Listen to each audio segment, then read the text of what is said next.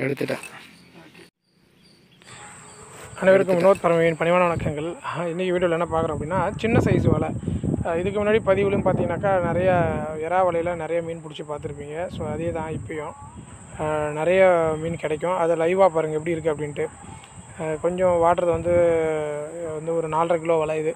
சின்ன சைஸ் கண்ணி அதாவது சின்ன சைஸ் மீன் எல்லாமே கிடைக்கும். இது வந்து நீர் த நிலைகள் வந்து வற்றும் பொழுது நீர் பெருக்காப்பவும் இது நிறையா கிடைக்கும்.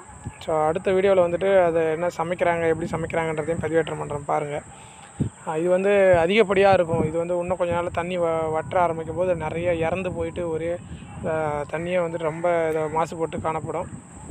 எவ்வளோ மீன் வருது அப்படின்ட்டு பாருங்கள் அது வந்து சின்ன சைஸ் தான் இருக்குது அதுக்கப்புறம் அது வளராது. வளர்ச்சி அடையிறதுக்கு வாய்ப்பே இல்லை. அவ்வளோதான் அதோடைய வாழ்வு காலமே அவ்வளோதான் எப்படி இருக்கு பாருங்கள் நிறைய பேருக்கு நம்ம இதை வந்து பிடிச்சி கொடுத்துருக்கோம். ஸோ நம்ம அக்கா வீடு பாப்பா வீடு சொந்தக்காரங்க நம்ம ரிலேஷன் ஃப்ரெண்ட்ஸ் எல்லாருக்குமே இதை ஷேர் பண்ணியிருக்கோம் இந்த மீனை. ஒரு மகிழ்ச்சி தான். ஒரு கையில் ஒரு கலை கற்றுக்கிட்டோம் அப்படின்னாக்கா நம்ம வந்துட்டு நம்மளால் முடிஞ்சதை நாலு பேருக்கு கொடுக்கலாம். முடிஞ்சால் நீங்களும் கற்றுக்குங்க வாழ்க யோகம் யோகம் விளட்டும் எப்படி இருக்குது வீடியோ எப்படி இருக்குன்னு சொல்லிட்டு கமெண்ட் பண்ணுங்கள் எப்படி இருக்கு பாருங்கள் இந்த மீன் எல்லாமே. சின்ன சைஸ் தான் இருக்கும் பட் நல்லாயிருக்கும் மீன் வந்துட்டு. எப்படி இருக்கு பாருங்கள் எவ்வளோ மீன் மாட்டிருக்கு பாருங்கள்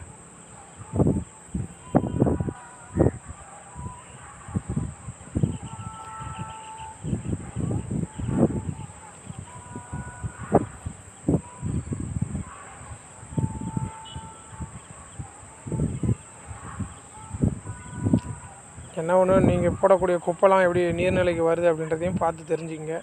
ஸோ முடிஞ்ச அளவுக்கு ட்ரை பண்ணுங்கள் உங்கள் ஏரியாவில் குப்பை குப்பை ஆற்று பகுதியில் போடாமல் இருக்கிறது வாய்ப்பு ஏற்படுத்துங்க. நன்றி.